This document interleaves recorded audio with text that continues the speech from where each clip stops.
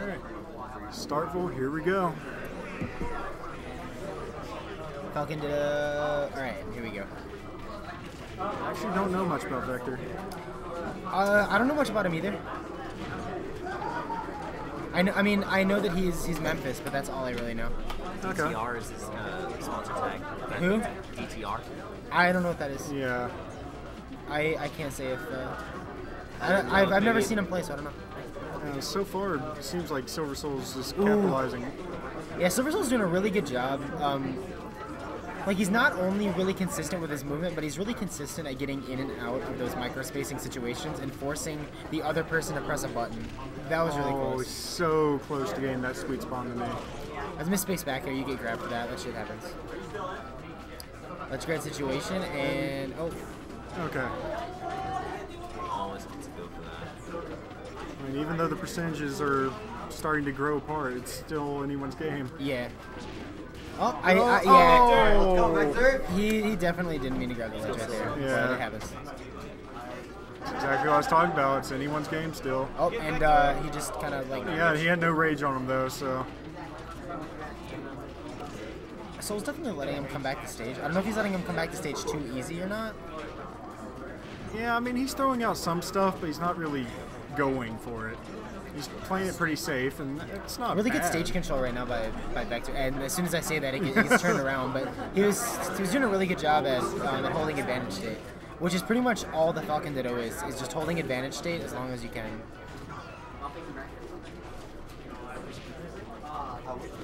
Oh, oh, that's close.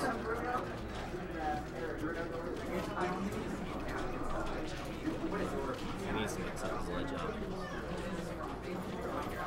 That's what's killing him right now. Every time he loses a neutral on stage, he gets dicked over by a multitude of things. Uh, He's kind of Yeah. Oh, and that's that round. Hey, don't you dare pop off. Close that shit out. That's gonna be terrible. Stop it. Vector finishes it with the knee. Memphis, Memphis giving their players shit. uh, what do you ban? Oh yeah, I'll ban live. Yeah, I know. I don't want the Doom syndrome to happen. Oh, all right, going right back to Smashville. yeah, yeah. Going right back to Smash. Bros.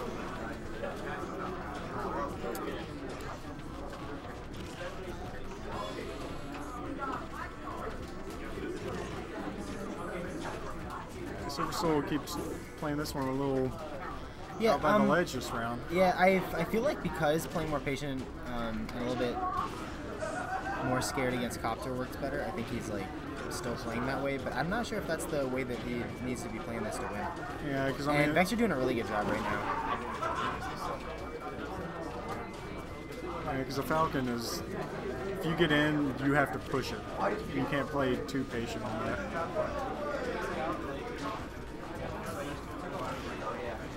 There's the punish. Oh, let's There we go. There you go. Come on, Vector, bring it back. We'll turn Dare by SilverSol. But as you saw from last game, Vector can easily bring this stuff back. One good knee, Yeah, yeah. We saw that One he's, he's dare. good at the uh, the up air confirm. So or even the up B stage spike, like what we saw last time. I mean, but he just has the gentleman here to get him out. Good nair to get it from ledge. Big damage. Big damage. Oh, he read the roll, but Oh, just didn't do air. Anything. He read the roll, but just didn't do anything.